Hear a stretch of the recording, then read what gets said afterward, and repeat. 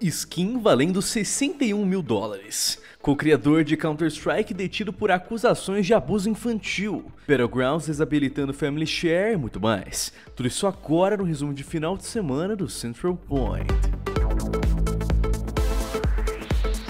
Já comentamos que Final Fantasy estaria ganhando uma exposição de 30 anos que começou no dia 29 de janeiro deste ano e ainda está rolando lá em Tóquio. E ela trouxe novidades do tão aguardado Final Fantasy VII Remake. A exposição ofereceu em primeira mão artes conceituais do remake com lugares e personagens já conhecidos, mas totalmente repaginados. Se você está em Tóquio, fica a dica de passeio para desfrutar dessas artes incríveis e sanar um pouco dessa ansiedade do remake. Ou talvez aumentar, né? Quem está ansioso para ver Cloud com gráficos lindos e atuais? Eu sei que eu tô.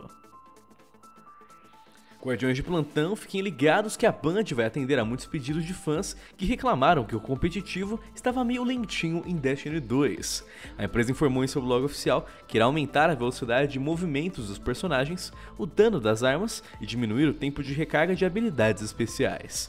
Segundo Josh Harmick, designer do jogo, as mudanças já estão sendo feitas pela equipe e nomeou a iniciativa como atualização de alta velocidade. Será que agora você vai virar o Sonic nos competitivos de Destiny 2 ou vai ficar mais ou menos? É esperar para ver como essa atualização vai se comportar.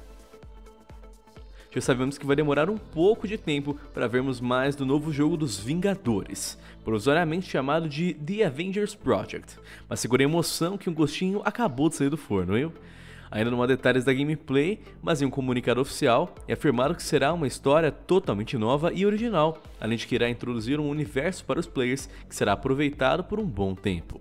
Claro que tudo ainda é um grande mistério, mas as possibilidades são como um novo universo compartilhado de jogos, como acontece com os filmes. Ou talvez um jogo com um serviço contínuo, conforme os anos, como se fosse um MMO. Avengers Project não tem uma data de lançamento, muito menos um nome oficializado, mas pode chegar até 2020. Então eu pergunto para vocês, vocês têm alguma ideia do que esperar desse jogo dos Vingadores? Deixe a sua opinião e as suas ideias nos comentários.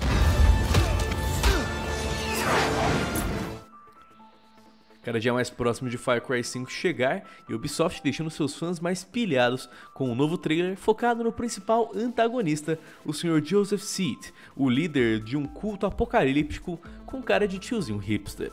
E tem mais, viu? A desenvolvedora também revelou que o passe de temporada do game terá uma cópia gratuita de Far Cry 3 Classic Edition para nova geração. Mandou bem no bônus, Ubisoft. Você compra o passe de temporada e ganha o remake do Far Cry 3. Mas que danadinha, hein? Se você tivesse muita grana, mas ó, muita grana mesmo sobrando, te pergunto, o que, que você faria? Bem, um carinha por aí resolveu comprar uma skin de uma arma do CSGO e olha só, essa pessoa gastou somente 61 mil dólares, ou algo em torno aí de 200 mil reais em uma skin absolutamente rara de um rifle de precisão pelo site de trocas OP Skins. A skin seria uma Dragon Lore, a skin rara do conjunto Cobblestone Packages, pacote disponível apenas durante eventos especiais de esportes. E além disso, ela saiu com algumas características a mais, como a Factory New, que é uma melhor qualidade visual de uma skin, e também assinada pelo jogador Tyler Skeduro Latian. Alguém me diz por que diabos gastar tanto dinheiro com uma arma virtual? Porque eu realmente não compreendo. E ainda falando em CS, Jeff Schiff, um dos co-criadores do game, foi detido nos Estados Unidos pela acusação de exploração sexual infantil. A Valve informou ao Kotaku que ainda está recebendo detalhes do ocorrido, já que relatórios sugerem que ele foi preso por um crime. Seu cargo então foi suspenso até haver mais detalhes do caso. Polêmica! Será que fez ou não fez aí, hein? Se você compartilha de uma conta com membros da sua família para todos terem acesso ao Battlegrounds, talvez seja uma boa ideia começar a juntar umas moedinhas, viu?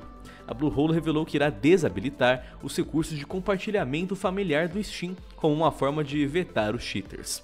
De acordo com o comunicado, por decidiram que desativar o recurso seria o mais adequado em razão de que inúmeras vulnerabilidades estariam sendo exploradas, além de que a desenvolvedora também irá implementar na próxima semana novas soluções anti-trapaças na versão de PC do Player Unknown's Battlegrounds. Amiguinhos que jogam Battlegrounds pela conta dos outros, vai juntando moedas aí, porque parece que você vai ter que comprar uma conta solo para poder jogar PUBG, viu?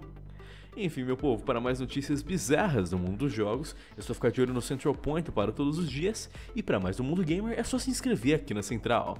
Galera que foi o Lion, muito obrigado pela sua atenção e até mais.